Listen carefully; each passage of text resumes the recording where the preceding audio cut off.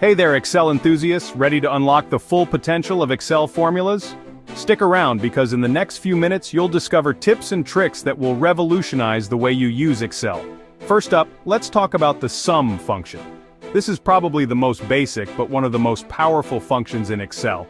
It lets you add up a range of cells in a snap. Just type, select your range, and hit enter. Bam!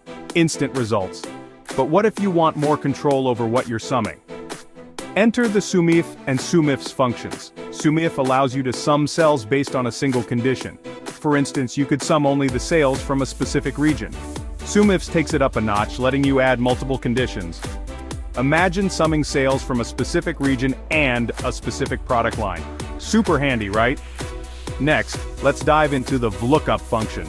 This is your go-to tool for finding specific information in a large dataset. Say you've got a list of employees and you need to find Jane Doe's department.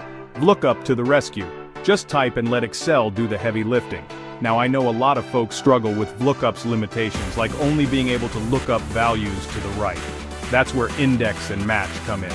This dynamic duo offers more flexibility. With, you can return a value from a specific row and column within a range. Combine it with, which locates the position of a value in a range, and you've got a powerful alternative to lookup. Alright, for those who love working with dates, Excel's date functions are a gold mine. The function gives you the current date, while gives you the current date and time. Need to calculate the number of days between two dates? Use. It's that simple. Ever heard of the IF function? It's like the Swiss Army knife of Excel. With, you can make logical comparisons between a value and what you expect. For example, checks if the value in cell A1 is greater than 10.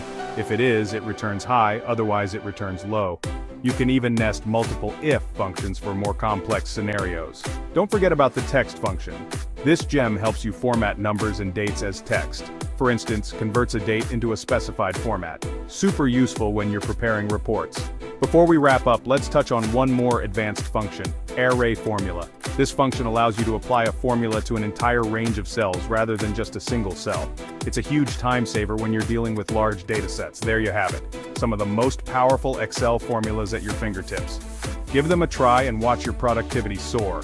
Hit that like button if you found this helpful. And don't forget to subscribe for more Excel tips and tricks. Thanks for watching. Thanks for